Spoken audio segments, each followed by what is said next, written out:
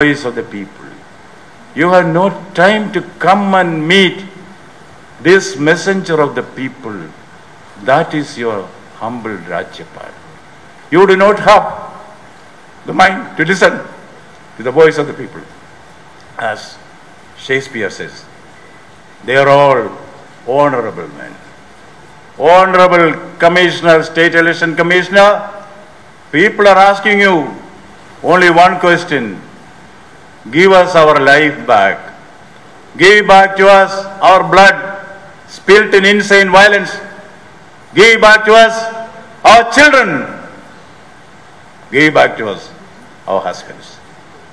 Give back to us our fathers. Give back to us our homes and hearts. If you do not do this, Mr. SCC, the curse of Cain will befall you. You are in the Kurukshetra. Do you want to be an Ashwatthama, the Maharathi, with all the power and might, descending to the level of a nocturnal thief, sneaking into the bedroom of the sleeping Upapandavas, the children of Panchali, and butchering them like a savage? Or do you want to be Yuyutsu, Yuyutsu, leaving the camp of Adharma and reaching the haven of Dharma, though at the nick of the time? We, the people, want to see you make your choice. Mr. State Election Commissioner, still there is time. Still there is time. Mr. Commissioner, this is a battle of right against might. Where do you stand? People would like to know, you stand with the right or with the might?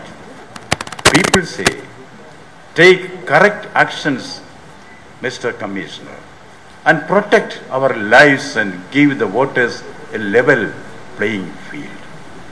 This is all that they need.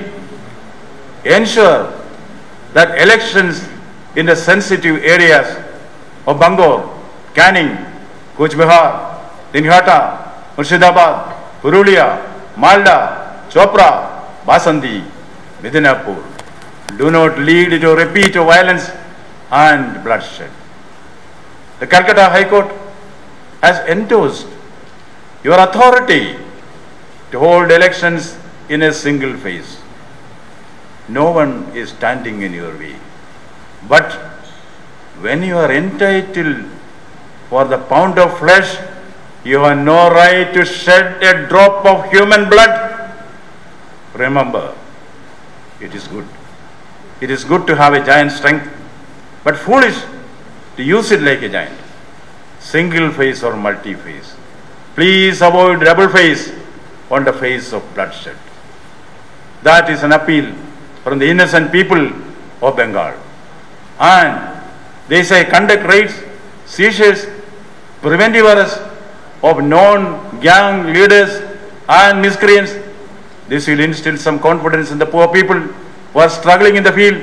Exemplary action, including immediate shift from the present position of the All India Service Officers, the IAS, IPS, who are allegedly partisan, indifferent, ineffective, and insensitive to the spate of violence going on in their jurisdiction.